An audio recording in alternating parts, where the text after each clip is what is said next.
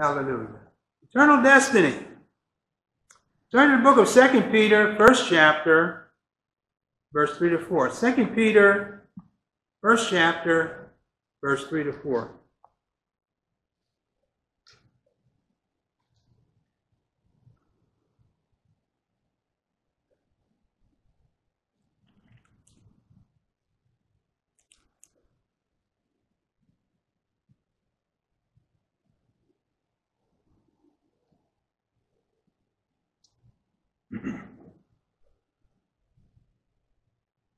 Here we have a spiritual principle from God's Word dealing with what God has dispensed to His people, what He's given to His people, that we might thrive and we might grow and we might be fruitful. And here we read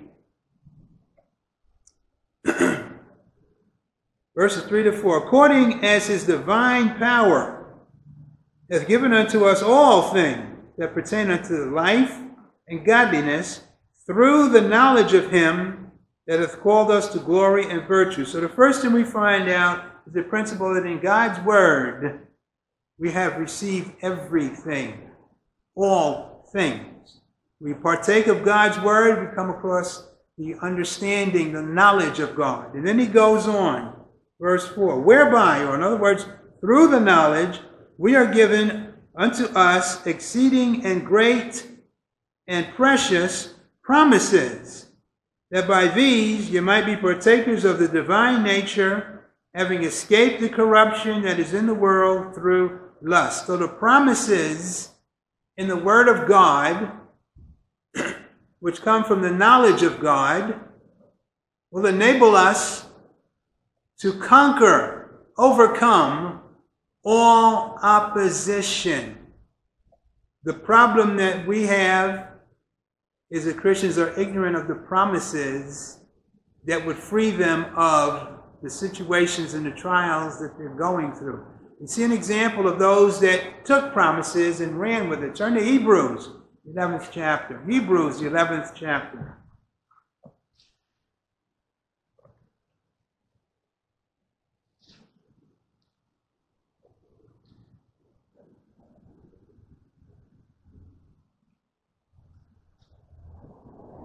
when you get there, we want verses 13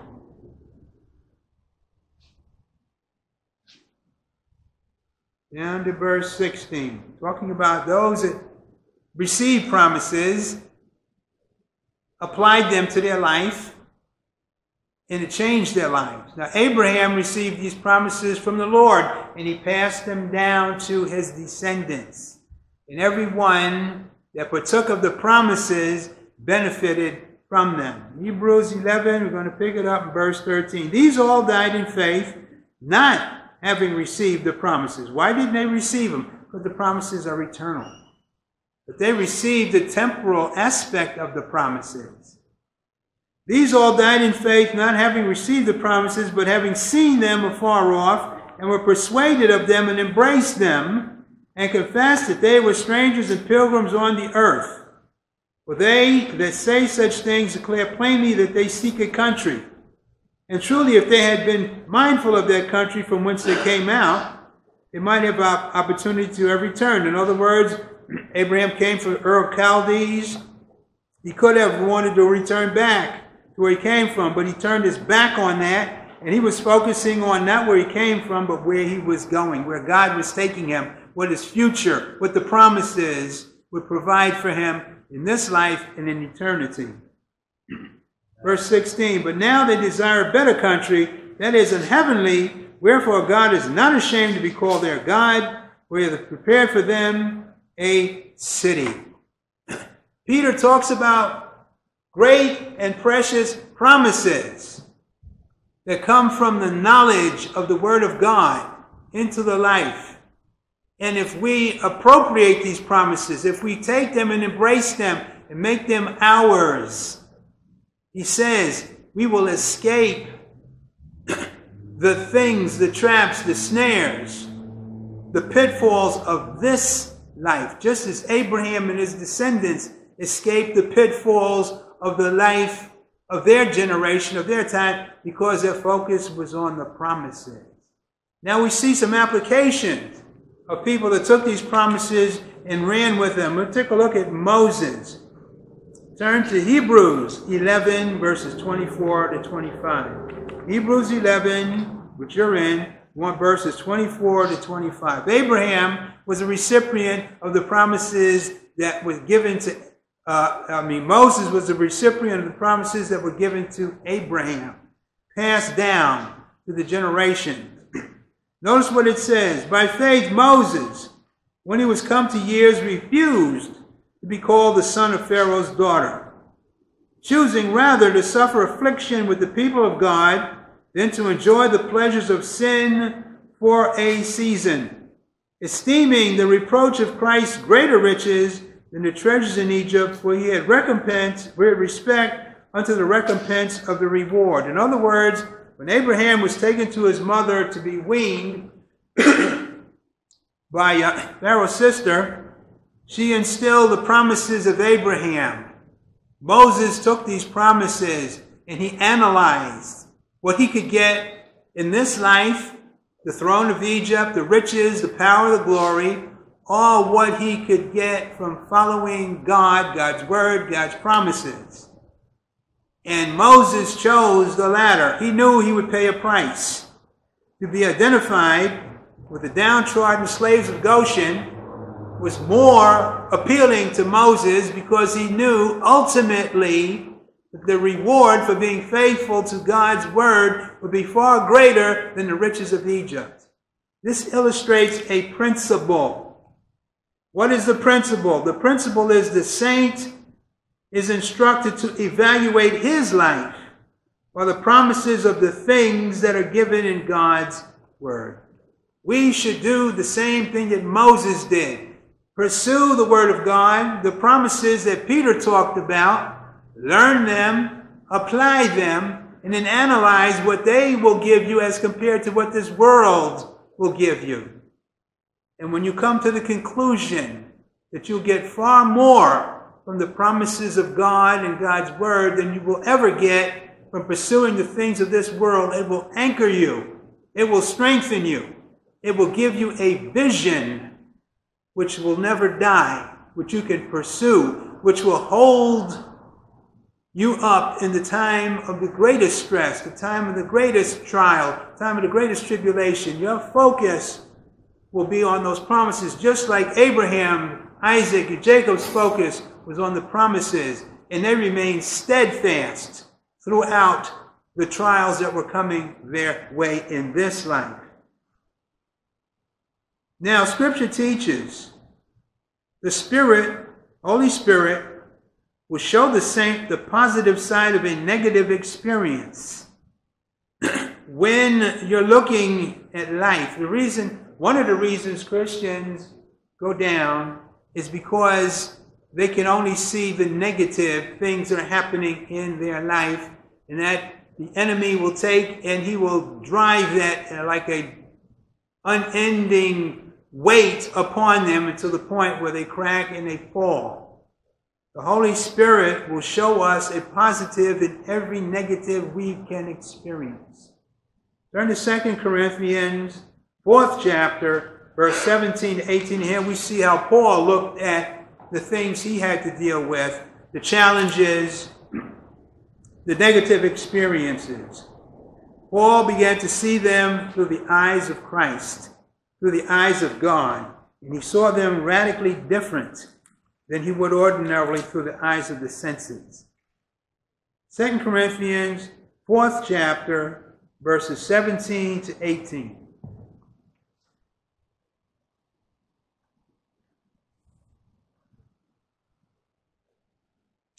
For a light affliction. So that's the first thing he sees.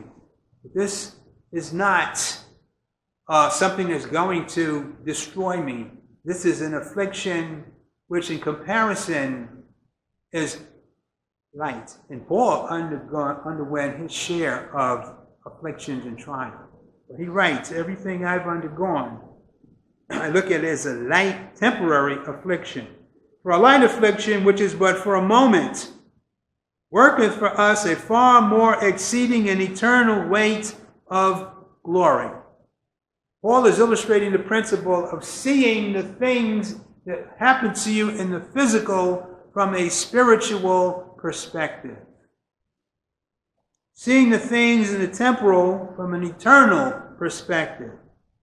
Verse 18 While we look not at the things which are seen, in other words, the word look there is basically focus. um, reach a stage of um, discerning and concentrating on. While we focus not on the things which are seen, but at the things which are not seen. For the things which are seen are temporal, they're temporary.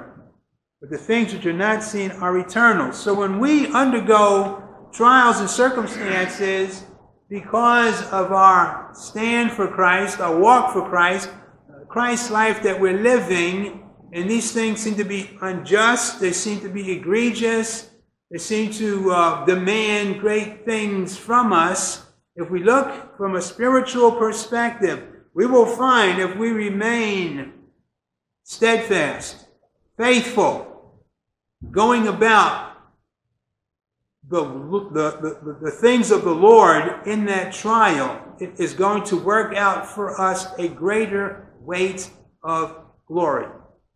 For every negative, there is a positive. And the Holy Spirit will give us a positive perspective of a negative experience. Jesus did not look at going to the cross from a negative experience, although it was pain, suffering, agony beyond which we could possibly begin to imagine. Jesus looked at going to the cross from a positive perspective, and then nobody will ever experience a trial of that magnitude. If he could see positive in that trial that he was going through, then our trials are child's play in comparison. And there is a positive view that we can take from each and every circumstance that we undergo. If we have not initiated it from a perspective of sin, but if it is as a result of our living for Christ and being faithful to God, the positive will always outweigh the negative. what you're saying, uh, Hebrews says that for the joy set before him was going to the cross. Exactly. He was looking at what we get. Exactly. And it gave him joy. Knowing he was going to save us. He's going to reconcile a race back to the Father. Praise the Lord. Turn to Philippians. First chapter, verse 12 to 18. Seeing the positive and a negative experience. Philippians, the first chapter, verses 12 to 18.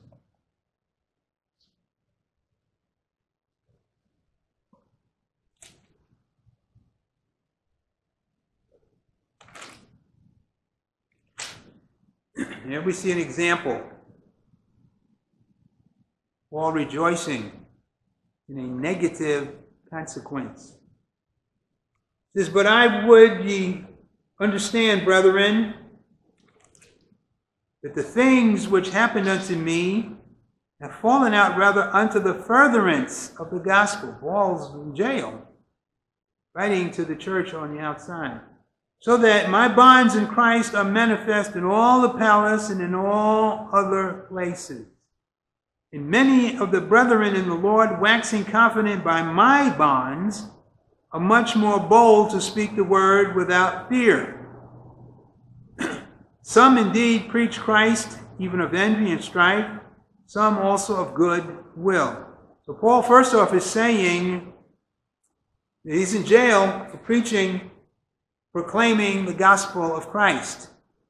But he's assuring the church, he says, Church, there's only good that's come out of this because the gospel has gone forth. As a matter of fact, it's, stayed, it's, uh, it's believed that when Paul was in jail and he had two guards on either side, they had to keep changing his guards because he was converting them to Christianity.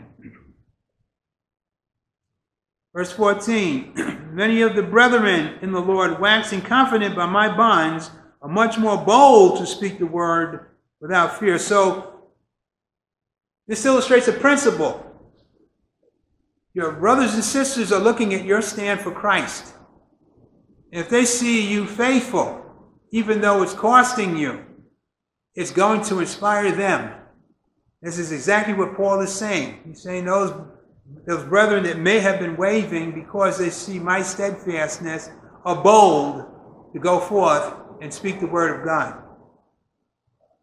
Then he goes on to something else. He says, Some indeed preach Christ even of envy and strife, and some also of goodwill. So what he's saying here is that those the gospel is being preached, some sincerely preaching the gospel, others preaching it in derision, criticism. But he's making a point here. He says, in either case, the gospel is going forth. People are hearing it, people are being saved. Verse 17. But the other of love, knowing that I am set for the defense of the gospel.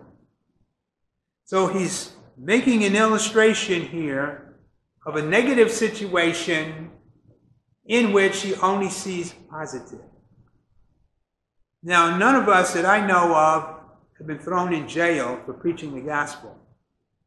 So the things that we experience are going to be on a lesser scale. The things that we experience daily, if we begin to see the positive in that, the Holy Spirit will quicken us to the positive of a negative situation. In that negative situation, we can rejoice, we can be strengthened, we can go forward in confidence because we can see the positive of a negative situation. There are, situ- there are Christians, unfortunately, that are so beaten down because all they see is a negative of their circumstance that the enemy capitalizes on it. Satan will jump in at both feet and try to make it more negative than it actually is. But if we turn it around and we can see by the stand that we are taking, we're glorifying God, people are being blessed, God's being glorified, that will give us a strength, a joy, and a positiveness to break the shackles that ordinarily would bind us and to go forth in an even greater way with a greater assurance that whatever takes place, God's going to be glorified.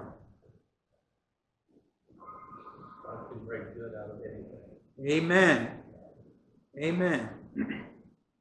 Which brings us to the next principle.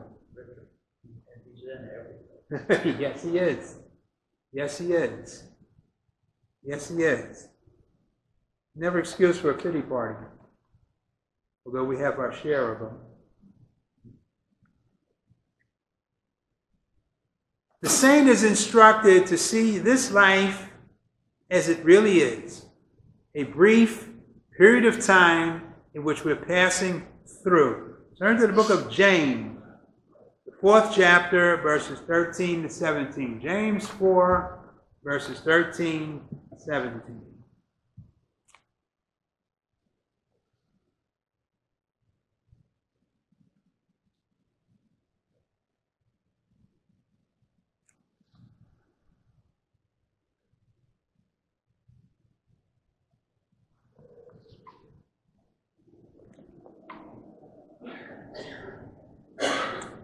Go to now, ye that say, Today or tomorrow we will go into such a city and continue there a year and buy and sell and get gain. Whereas you know not what shall be on the morrow. For what is your life? It is even a vapor that appeareth for a little time and then vanisheth away. So James, under the inspiration of the Holy Spirit, is telling us we need to see our life and our time from God's perspective. Tomorrow is promised to no one. We live one day at a time. And if we open our eyes tomorrow to see the sun come up, it's because only of the grace of God. So we live each day to the fullest.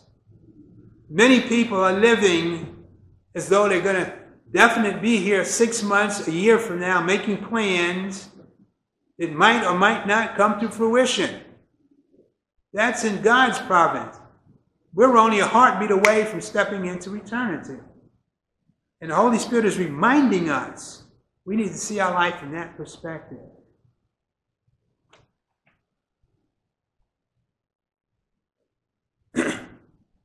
we find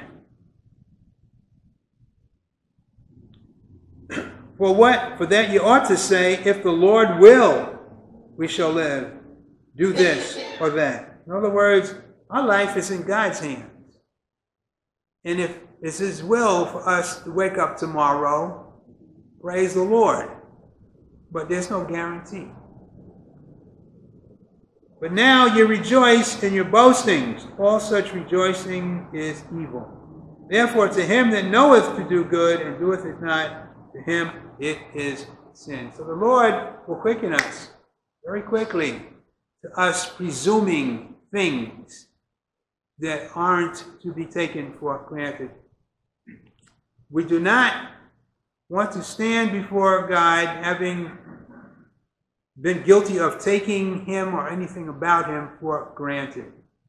There's a thing called presumptuous sin. I can do this and know that God will forgive me for it. No, he won't.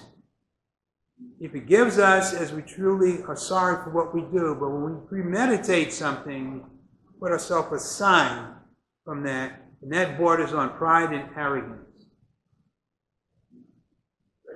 One more. Yes talking, just popped in there. You know, the only way that you have life beyond today, it says, you know, don't look to the future because it could be over today. Mm-hmm. Is if the Lord tells you.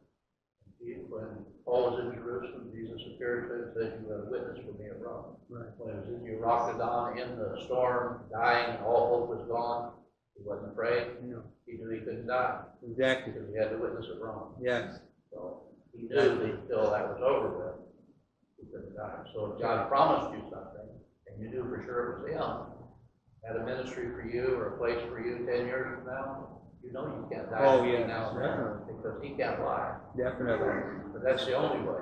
Yes. Yes, definitely. we don't take God for granted. Philippians, second chapter, verses 12 to 15. This is attitude that we should have about our life.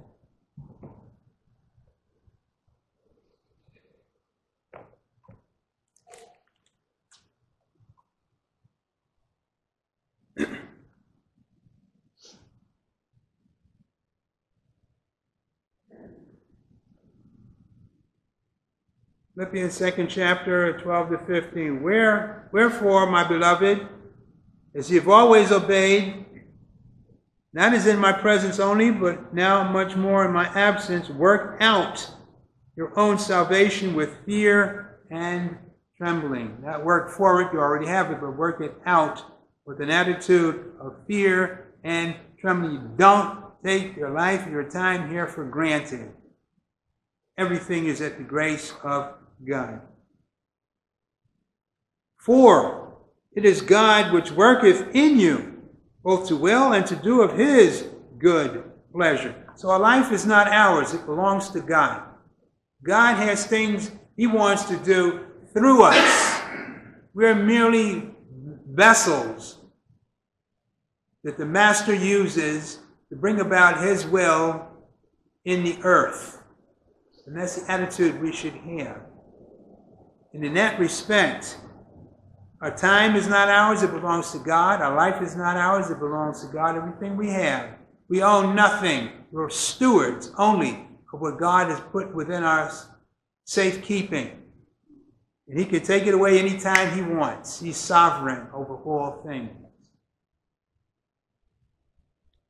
Do all things without murmurings and disputings, that ye may be blameless and harmless, the sons of God without rebuke in the midst of a crooked and perverse nation, among whom you shine as lights in the world. We are vessels through whom God works to show his reality to a dying world that's in darkness. And as we yield to him the things he wants to do through us, he becomes, he works greater and greater and greater things to that vessel that becomes more and more yielded to him. And we begin to gain a greater and greater understanding, comprehension of God, God's will, God's way, and the things of God. Second Corinthians, fifth chapter, verses 9 to 10. This should be uppermost in the mind of every saint. Second Corinthians, fifth chapter, verses 9 to 10.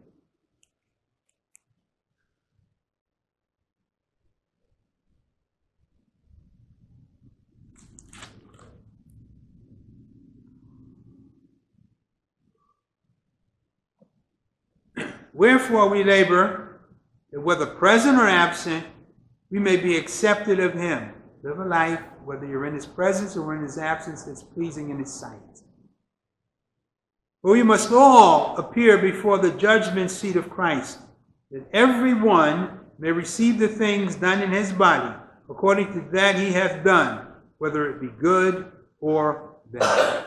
We're going to have to give an account of everything we've done in this life how we have spent the time, how we have handled the Word of God, how we have related to our brothers and sisters. We have to give an account for everything one day before the Lord. And we should live each day with that uppermost in mind.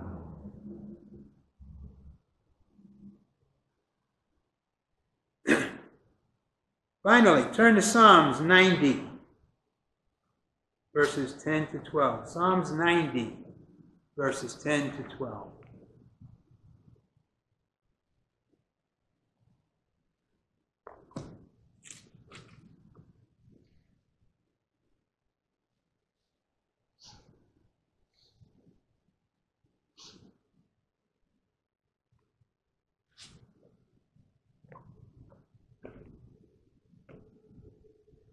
The days of our years are threescore years and ten, seventy years. And if by reason of strength they be fourscore years, yet it is their strength, yet is their strength and labor and sorrow, for it is soon cut off and we fly away. Who knoweth the power of thine anger, even according to thy fear, so is thy wrath. So teach us to number our days, that we may apply our hearts unto wisdom. Teach us to number our day, prioritize our time, that we may apply our hearts unto wisdom, that we may live wisely in the time that we have been given. Because one day we're going to have to give an account of the time spent here. So, in closing, understand time is not ours, life is not ours, possessions are not ours. It all belongs to Christ. And as we live our days as yielded vessels to Him, we come into a situation where we see the promises of God become more and more coalesced in our life. We are given a greater and greater degree of favor by God. We become more and more used of God be a blessing to others. It becomes a win-win situation. Doesn't mean we won't have more problems. Probably will. More trials. Probably will. To whom much is given, much is required. But we have the promises of God that will sustain us, enable us to overcome all obstacles, and ultimately bring us to the throne of God, where we will hear Him say, Well done, thou good and faithful servant. That's what we want that's the, the, the path that we want to tread.